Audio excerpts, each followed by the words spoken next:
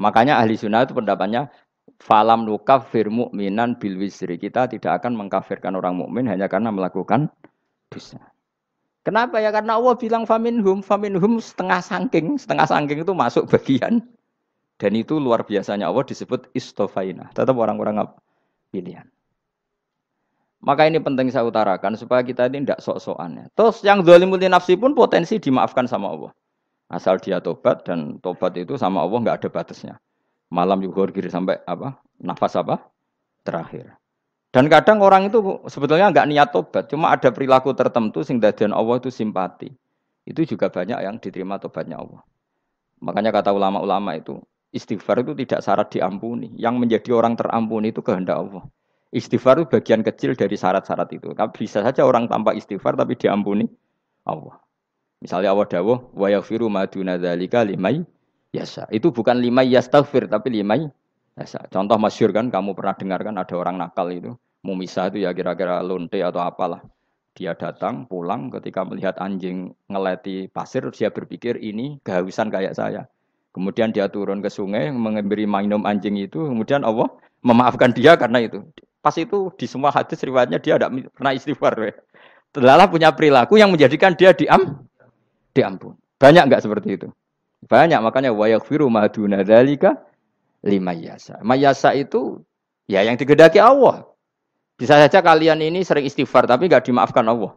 Tapi delala punya satu perilaku yang cara Allah itu penting, kemudian di dimaafkan. Kayak Saharatu Fir'aun, itu dia tidak pernah istighfar, tukang sihir Fir'aun. Dia diampuni Allah, dikasih iman tuh gara-gara jadi wong Jogja. Terus ngono tok. Jadi pas mau duel, duel mau duel adu sihir.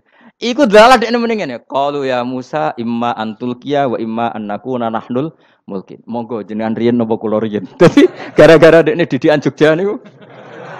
Lah wong ape duel, mestinya tarung itu semakin cepat mengambil kesempatan kan semakin menang. Ini sudah jelas tarung.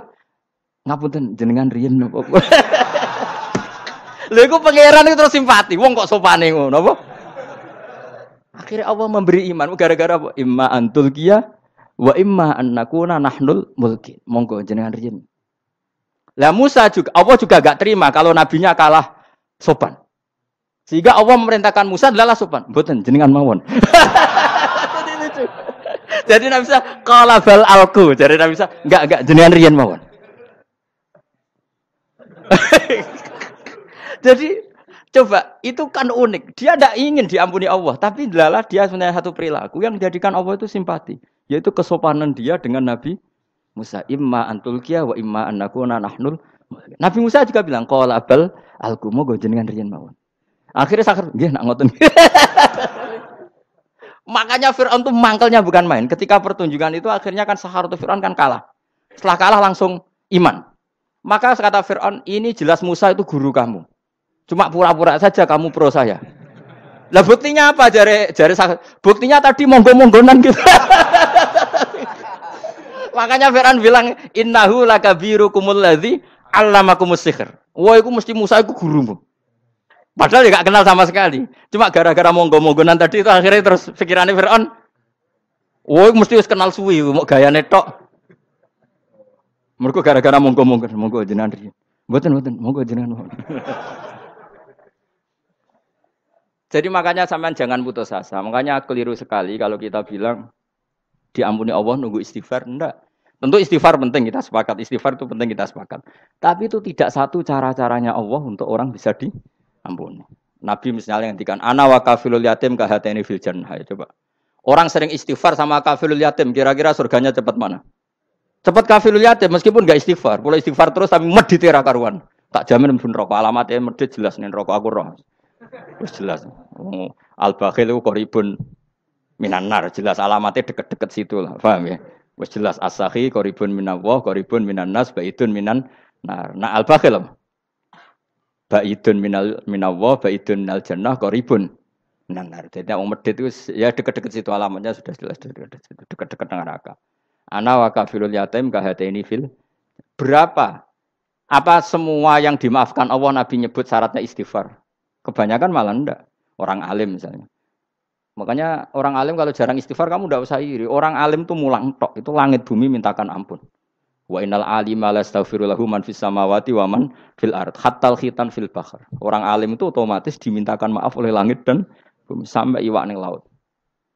Mulane jendur aku Gus jangan istighfar. Aku sing istighfar isa akeh sembrono. Langit bumi no. Mulane kula nu jarang istighfar bukan karena saya sombong, memanfaatkan istighfar mereka, no. Dan saya yakin itu lebih mandi timbang istighfar saya. Ngon koman fis samawati nglebokno Jibril, Mikail, Orang-orang keren, apa makhluk-makhluk apa keren.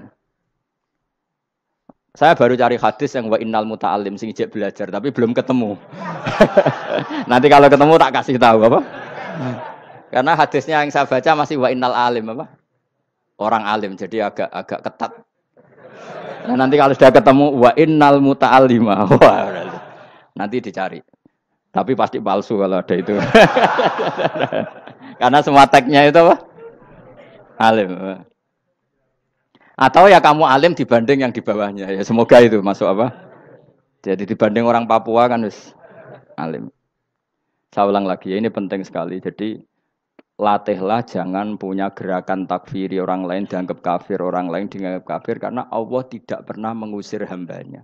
Meskipun apa pun salah najiyah, kata Allah tetap famin hum. Apa? Famin hum. Hum itu rujuknya ke yang depan. Jadi termasuk orang-orang yang saya pilih adalah famin hum zolimul nafsi. Tetap dia di arena itu.